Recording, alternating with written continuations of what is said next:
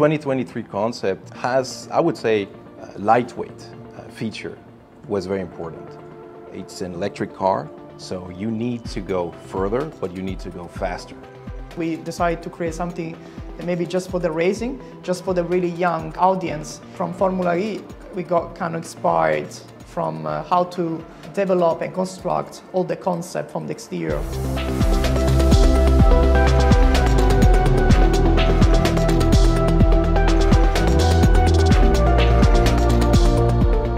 Some way, it could look very raw, but this is the intent. We had to get rid of everything that is basically aesthetic and cosmetic and only focus on structures. That's why you can see just a shell and then some beams and um, basically everything is made of this Lego technique, tubular kind of approach. The exterior colour we're looking at is trying to suggest a vehicle that's almost been machined out of a solid lump of metal and it's got a very textured surface to it to give that rawness that contrasts with the high gloss elements of the vehicle. The 2023 concept, we felt it was time to just to make something that reflected perhaps the environment we live in and the young team that we have here.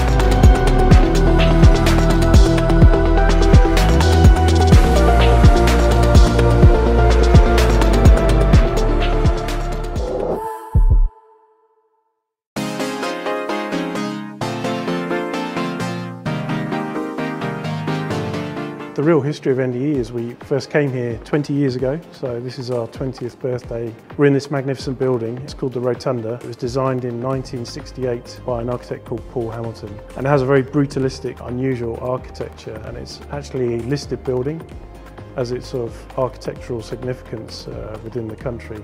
So it's a great environment for us to be creative in. Not only that, it's in a great location being in the, the centre of London. NDE of course is a building and a name, but we're made up of people and it's our most valuable asset. The team I would describe as one of the most creative teams I've worked in.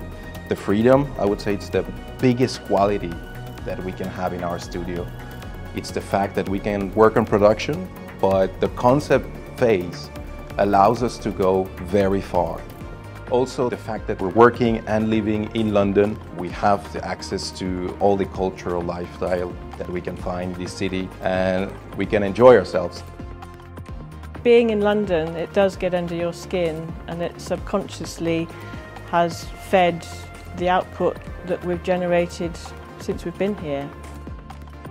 So since we started, our design process has changed almost unimaginably going back 20 years or more. We used to hand draw. Uh, not only that, we'd put the drawings in a tube and send them to our colleagues in Japan and receive tubes back.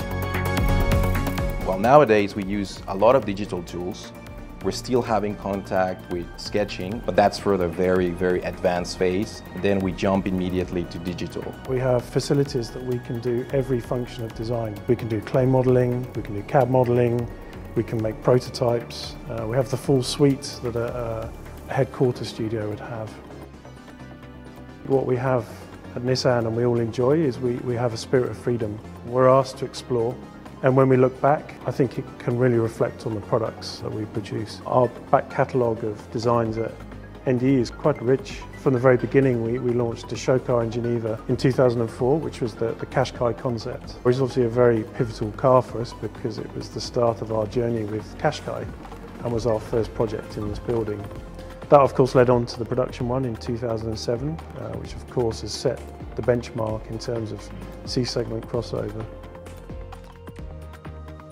As well as our mainstream products, the team here, they look at a lot of advanced studies, which also lead on to concept vehicles. And even around electrification, if we look back, the studio worked on NV200, which later went on to be an all-electric commercial vehicle. Uh, so we worked on the concept of that, down to the Ariya concept and Ariya single-seater. The 2023 concept, it's a celebration, it's a present from us to us to celebrate our 20th birthday.